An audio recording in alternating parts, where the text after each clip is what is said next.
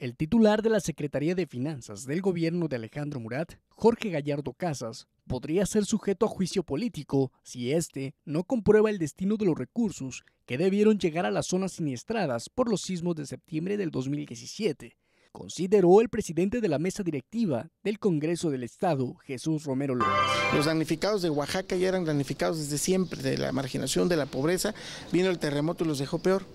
Hoy 120 mil pesos de qué sirven cuando además una parte de ese recurso son a deuda, deuda pública que vamos a pagar los mexicanos y los oaxaqueños. Hasta ahora Finanzas se ha hecho mutis, hay un acuerdo de la Jucopo y vamos a evaluar si es posible establecer algunos mecanismos de sanción a Finanzas, puesto que me parece grave que no informe el destino de, de esos recursos. También diputado local de Morena lamentó la omisión de esta secretaría al no transparentar estos recursos, muchos de ellos provenientes de otros países, fundaciones e instituciones no gubernamentales, entre otros.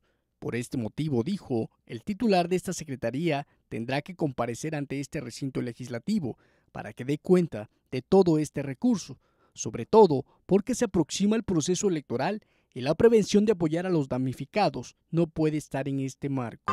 Nada, eh, finanzas la verdad es que está en su eh, duerme el sueño de los justos, pero ya hay una solicitud de comparecencia y yo creo que en los próximos días pudiera acordarse esta situación. Se empalma el proceso electoral y yo sí quisiera dejar muy claro que la pretensión de apoyar a los damnificados no puede estar en ese marco. Por eso seremos muy específicos en qué consistirá la comparecencia del secretario de Finanzas.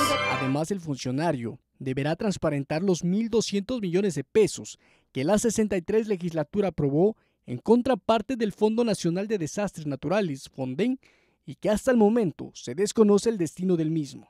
Se desconoce el fin último de los 1.200 millones de pesos de la deuda pública. Esa es la verdad. No, no, hay, no, hay, no hay conocimiento. Se supone que fue a contraparte del Fonden, pero bueno, este, hay familias que llegan al Congreso y nos informan que no, no han recibido más que 60 mil pesos, otros 15 mil, otros 90 mil, y no se ha complementado el apoyo total. Con imágenes de Pablo Cruz, informó para MBM Televisión Deimo Sánchez.